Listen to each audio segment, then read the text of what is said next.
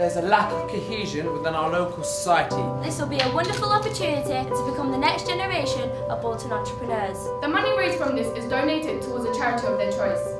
These students are competing for a first prize of £2,500. Okay, the winner, Skinners' Academy. I just didn't even know I'm speechless. I've lost so much, my jaw's hurt. I don't know, it's, uh, can't even talk. Today's been the Mosaic Enterprise Finals 2015, in which we've seen talent from all across the country come together. In order to see who could provide the very, very best business idea and present it in a way that inspired the judges. Getting together their ideas and seeing how those ideas can become a reality and change society for the good.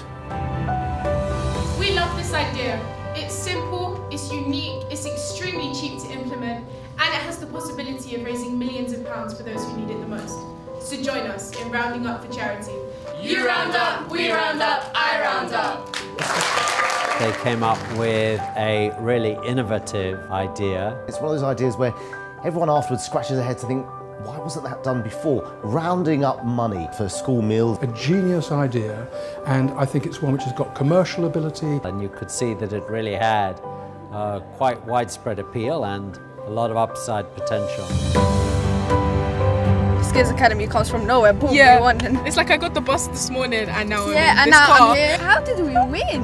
Like, it's- we're from Hackney. We're smart. Believe in yourself because you know you are amazing and those presentations today were really amazing so the first person who has to believe in you is you Just gonna hop into my rolls. What are you going to take away from today, Joe? Our goodie bags, iPad. Mentoring is really key to the Enterprise Challenge, teaming up role models with children, and children will look up to these role models and be inspired by them. The mentor has got to have experience and has got to have the wisdom to be able to guide the individual. Listen, Asif are both amazing. They guide you along the way. Like, they don't exactly tell you what to do, how to do it. The chief executive of Parent Pay, he actually came today to watch us. yeah. Yeah, he was then. Yeah, Clint Clint Wilson. Wilson. So supportive and he's been having meetings. We're actually going to get it going by 2016.